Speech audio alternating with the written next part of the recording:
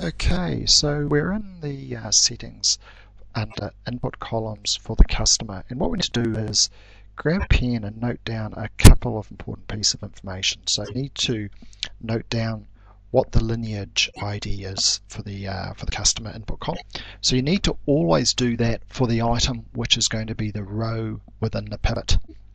And by definition, because um, this item is going to be the row in the uh, in a pivot, we give it a pivot usage of 1. Um, then what we do is we jump down and create an output column. So we add column. So this column is going to be called customer. So this relates to the input column. So this is the output column relates to the input column. Um, we, and what we need to do is, because this is a row item, we give it a pivot usage a pivot key value, which relates to the um, pivot usage value of one. Um, we then go source column. We update that with the 32, which is the, the lineage ID. Yep.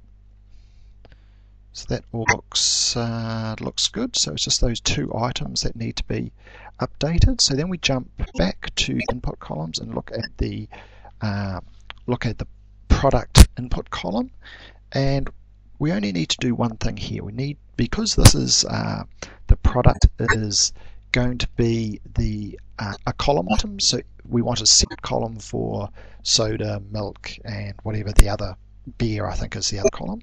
So we columns always have a pivot usage value of two.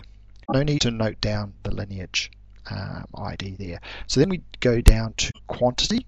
So quantity is a, uh, we need to update the pivot usage to 3. So um, the quantity is essentially a data value. Data values um, or values are always given a pivot usage of 3.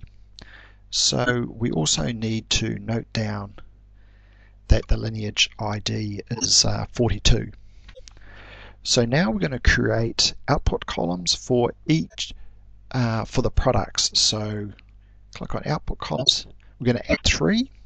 So one for beer, one for soda, uh, and one for milk. So we give this one name soda.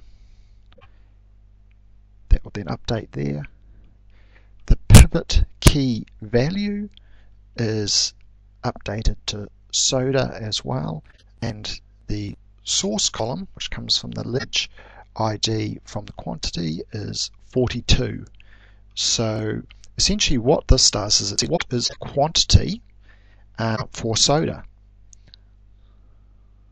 And now we'll move on and do the uh, do the remaining two columns. Um, apologies for uh, for cutting these videos into sh such short sections, but this Cam Studio software that I'm using tends to end up getting a lag between the audio and the screen in the video clip if I leave the uh, clips running for much longer than about four four minutes. So just um, tune in for the next uh, for part four of this series.